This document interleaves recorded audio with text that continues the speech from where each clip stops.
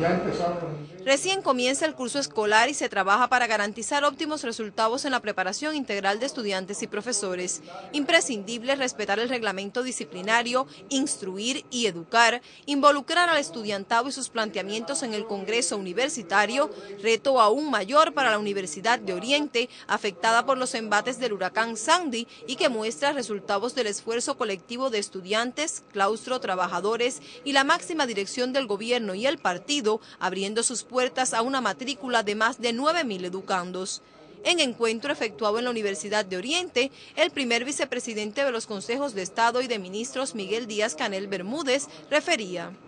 Hay que cada vez buscar, además de más polémica, más discusión, que a partir de las discusiones, las cosas que nos salen de las discusiones, las podamos aplicar para que la gente se, sean, se sientan partícipes en la toma de decisiones. Si ustedes van a mejorar algo aquí en la universidad, primero vamos a consultar con profesores y estudiantes, por ejemplo, una de estas facultades que hay que arreglar, cómo vamos a arreglar la facultad, cómo queremos que esté la facultad, vamos a ver sus motivaciones y después las decisiones se toman en función de eso. Y la gente va a defender eso porque es un proyecto.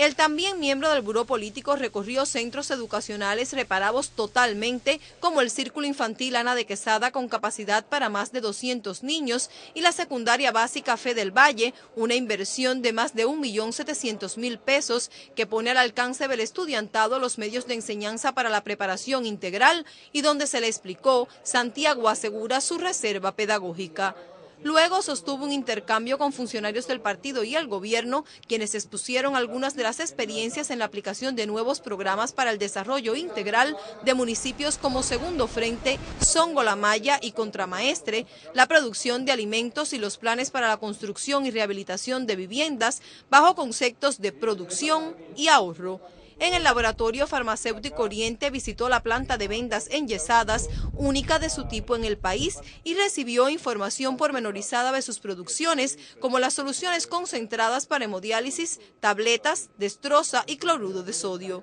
Al concluir visitó hostales de la empresa comercial Compaitiago que brindan servicios de alojamiento y gastronomía como Las Torres en su variedad de clásico vinculado a la obra del artista de la plástica Carlos René Aguilera y que genera ya miles de pesos en utilidades. Eh, la puedo categorizar de, de cinco, porque realmente no solamente es el confort, sino la atención al cliente, eh, la amabilidad con que nos tratan, eh, el servicio que es muy importante y esto de vincular la,